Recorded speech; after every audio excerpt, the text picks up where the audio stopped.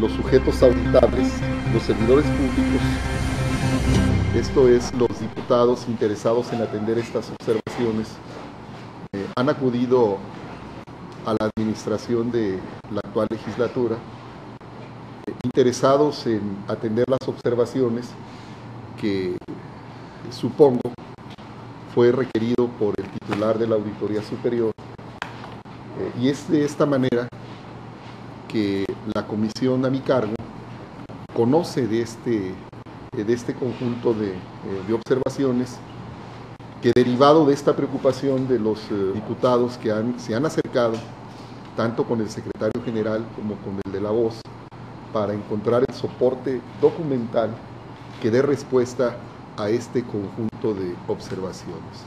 Pérez Pozos, por ejemplo, él tenía observaciones antes de que se hiciera la auditoría de, de caja chica, ¿no? De, de, un millón de pesos que se le habían dado y presentó muchas facturas y así las solventó facturas que no tenían realmente mucha relación, pero con eso al parecer libró esa parte. La pregunta es si con ese sencillo ejercicio de encontrar facturas que alguien le quiera dar, la vayan a librar los saludos. David, eh, ese asunto le corresponde eh, y le corresponde, me parece que sería desproporcionado.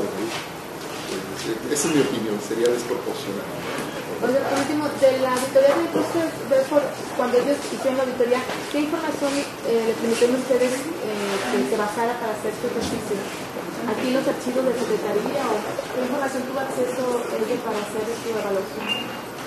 ¿Con copias simples, originales, certificadas?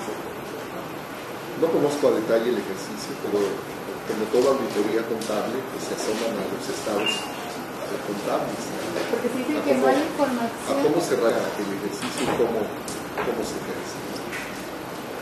Y cómo se ejerce. Porque incluso la auditoría habla de, de si ustedes la revisan, que la tienen, y si no, con gusto se las damos. Eh, habla de, de, que mucho del gasto eh, no pudo tener el soporte porque no tuvieron a la vista una serie de